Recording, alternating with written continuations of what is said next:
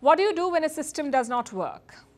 A, you try to fix it, or B, you can build your own.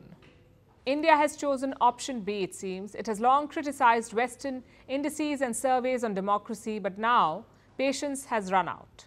So reports say India is publishing its own, a homegrown democracy index. An Indian think tank is making it. Reports say it could be published in the next few weeks, maybe even before the general election. Now, we don't know what the methodology will be, or what indicators will be used, or which countries will be ranked, but we will say this. Such a move was necessary. You cannot let Western yardsticks measure the world. If you do, the problem is obvious. The West will look good, the rest will not. And this is a big problem. A lot of people factor these reports into big decisions, like investors looking at a stock market bet, or companies looking to open factories, or even tourists looking to travel. So these rankings are like report cards for countries. A good one will give you tangible benefits, a bad one will keep investors away. So it's important to look at these rankings closely to see how fair or unfair they are. Let's look at three such recent indices. The first is the Liberal Democracy Index. It was published by Sweden's V-Dem Institute. And where does India rank? At 104. Now listen to this carefully. India's rank is 104. Guess who is just above India? Niger. Let me repeat that for you. Niger ranks above India in the V-Dem Index on Liberal Democracies. To put that in context, Niger is currently ruled by a military junta.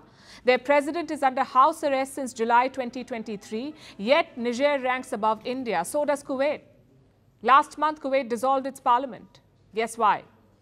Because some lawmaker insulted the emir. It's constitutionally illegal to criticize the emir, so the entire parliament was dissolved. That country ranks above India. I guess when you have oil, democracy has a different definition. The next index is on happiness. India ranks 126th on that list. Look at all the countries above it. Pakistan is at 108. This is a country where inflation is higher than the average age, where terrorists attack every day, where generals rig elections, and where the IMF decides the budget. I guess that's what Pakistanis are happy about, being broke and unsafe. Also above India is Myanmar, a country that has been at civil war for seven decades. Ukraine is ranked 105, Palestine ranked 103. Iran is ranked 100. We are honestly lost for words here. Ukraine is being invaded, Palestine does not have statehood, and Iran is ruled by a supreme leader, yet people there are happier than Indians. Finally, we have press freedom. This one is published by the RSF, Reporters Without Borders. India is ranked 161 on this list of 180 countries, press freedom 161. Afghanistan is at 152.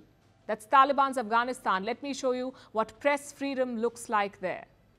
مردم تنها گذاشت و به نام خدا به عرض سلام و درود بر شما بیننده های شبکه جهانی افغانستان به ویژه برنامه پرداز باز هم شما را خوش آمدید می‌گویم میربایس حیدری حق دوست هستم شما را دعوت می‌کنم تا پایان این برنامه با ما همراه باشین حالا که نظام اشرف غنی سقوط کرده That's press freedom for you. That's not all. Pakistan ranks above India. So do the UAE, Brunei, Somalia, and Uganda. You don't have to be an expert to know that this is wrong. These rankings cannot possibly be true. But why does it keep happening? One problem is the sample size. It's often too small. Consider the World Happiness Index. They sample just 1,000 people every year. For a country like India, that's nothing. 1,000 out of 1.4 billion people. And it's not just about the size, it's also the nature of the population. You have regional differences, you have religious differences, you have socio-economic differences. So 1,000 is too small. It will never give you the true picture. Same with press freedom. The survey takes 10 responses from each country. So if the methodology is not working, why are these surveys still being published? Because it suits the Western agenda. We looked at the top 10 countries on all three lists.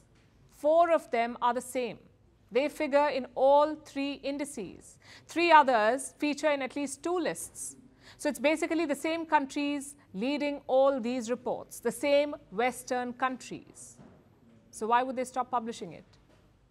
Which is why having a homegrown index is not a bad idea. It's not about one-upping the other side. It's about offering a different system, a different perspective.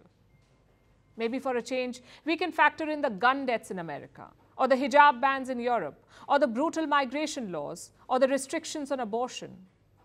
Then it would be a fair survey.